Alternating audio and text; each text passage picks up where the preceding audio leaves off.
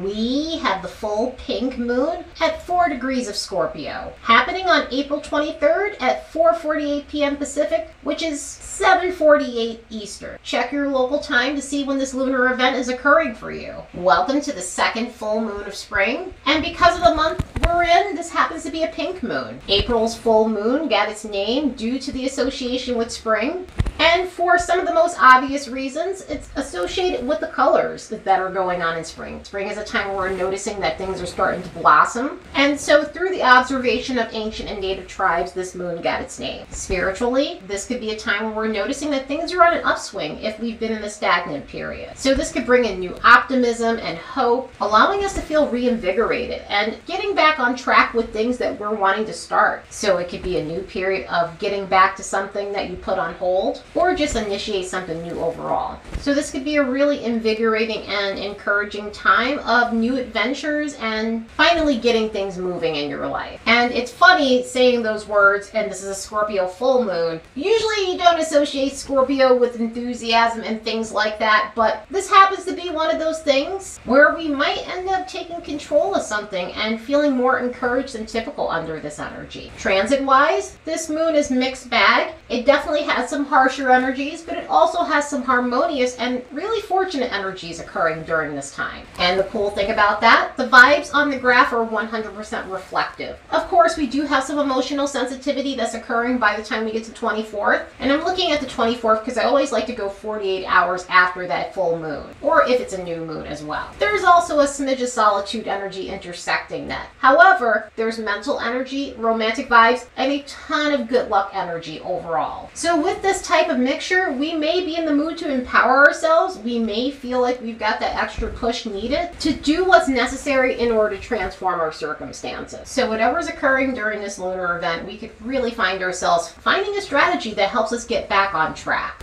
But now that we're here at the peak of this lunar cycle, think back to what you were trying to start six months ago regarding Scorpio energy. What kind of empowerment journey were you creating for yourself around November 13th of 2023? Was this a period where you were realizing it was time to break old habits and patterns or any behavior that was keeping you in low vibrational energy? Was this a period where you were realizing that maybe you needed to relinquish control in situations that were no longer serving you and holding you back? Or it could have been a period where you were realizing that you needed to gain control back in a situation where you might have lost yourself and where you might have needed to step back in your personal power. Was this a period where you were taking a deep inventory of the relationships that you have in your life? Scorpio is about our serious relationships, it is about the relationships where we meld with someone else. It's about the relationships that go beneath the surface. And so, a situation like this could have had us looking at whether or not something that we were in is surface level, or if we have an unhealthy attachment to someone, or in a lot of cases, losing our power in those relationships. And in a lot of ways, it could have had us examining our attachment styles when we do get into relationships so we can work on that and maybe heal the things that are unconstructive for us. Sometimes some of this could have surfaced as working on trust issues or having too much of a wall up when it comes down to relationships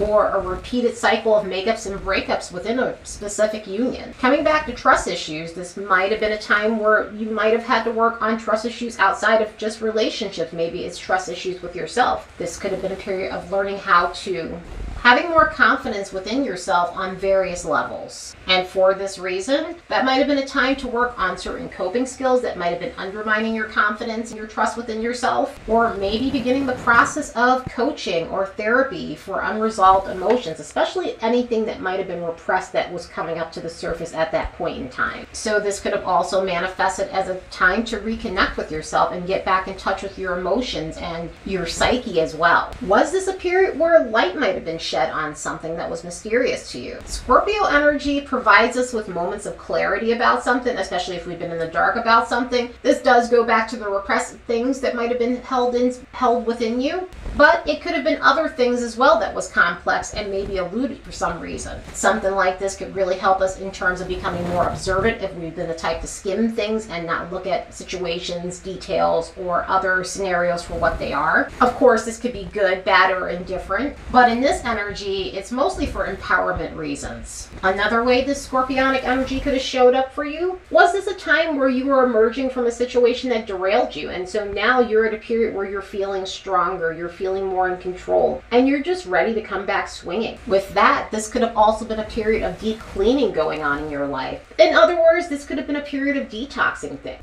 This could have been a period of purging things out of your system. And whether that's situations that were unhealthy for you, maybe things that you were putting in your body that weren't good for you, working on connecting with your higher self and learning how to step into constructive vibrational energy. So it could have been a clearing of negativity and negative vibes, or it could have been just people, places, or things that just really needed to be purged out. So now that you're here, you're just realizing this was a time to truly detoxify all the things that were holding you back in your life. This is why I say this energy is not associated with jolly things. Scorpio energy is intense. It causes us to look at harsh truths. It causes us to revise the things in our lives that are holding us back and connecting with a more evolved version of us. So this really might have been a period to transform all of your circumstances that were holding you back, draining your energy. That way you can transform, purify your circumstances, and regain control of your life overall. Let's look at these transits and see what we can expect from this lunar event. As a reminder, don't forget to like and subscribe because it helps this channel grow. And if you'd like to support the work of this channel, you could do so by buying me a fresh cup of coffee. There's a link in the description box below kind of like what I was saying earlier, this moon is mixed bag. We've got some harsh stuff, but we also have some harmonious alignments that are really going to help us push through. And with this energy, we have three chart rulers this time. This is because Scorpio has dual rulership with Mars, the ancient ruler, and Pluto, its a modern planet. And of course, we always consider the other luminary included in this lunation, which is the Sun, and the Sun is currently in Taurus, Scorpio's opposite sign. So the dispositor for the Sun is Venus. Mars, the ancient ruler, is the one that's actually making all of the aspects, and currently it's in multiple conjunctions. Mars is in a conjunction with Saturn and Neptune. It's starting to separate from that Saturn conjunction that it made a week ago, and now it's coming up to a conjunction with Neptune. So it's in this weird in between. However, this could be a period where we're starting something fresh. We're laying the groundwork for something. Maybe now that things are shifting, we kind of have a bit of clarity about what we want to do and also a good vision for where we want to start and what we want to initiate in our life. But Mars is also connected to the other chart ruler, Venus, in an alignment that might be unconstructive when it comes down to our love life and finances. So this could rev up some extra drama when it comes down to romantic situations. Maybe we're starting to realize that there are just certain situations that have gotten out of hand when it comes down to romantic scenarios. Also, Venus, the other chart ruler, is connected to Neptune in a hard alignment as well. So this may lead to some sort of reality check when it comes down to relationships and financial matters. Continuing with the alignments that Venus is making, it's also connected to Uranus and Jupiter in a hard alignment as well. And for this reason, we'll need to be aware of doing things recklessly when it comes down to relationships, when it comes down to our finances. We need to be aware of being over the top. We need to be aware of overspending, overdoing it when it comes down to food, alcohol, stimulants, and anything like that, because that could really rev up that type of energy.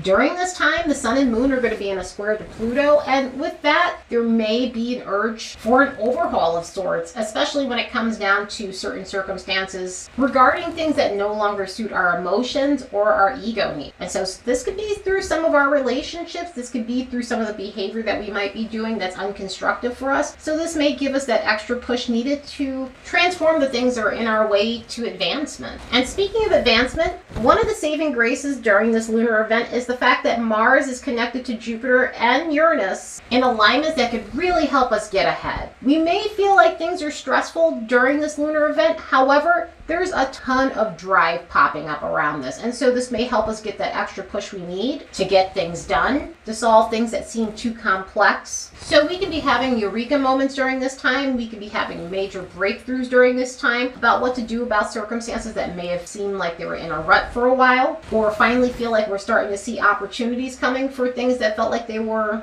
not so much in the cards for us. So even though this lunar event has some harsh energies, we may have moments where we have opportunities. We may have moments where we have some luck on our side. But with this Mars connecting to Jupiter and Uranus like that, we'll have the extra motivation needed to push through any obstacles that do come our way. The signs most affected by this lunar event will be the fixed modality Taurus, Leo, Scorpio, and Aquarius between 0 and 14 degrees of these zodiac placements. So if you have planets and chart points in these signs, you'll feel this lunar event more so than others. Anyway, hope you all have the best full moon in Scorpio ever. Later and see you in the next episode.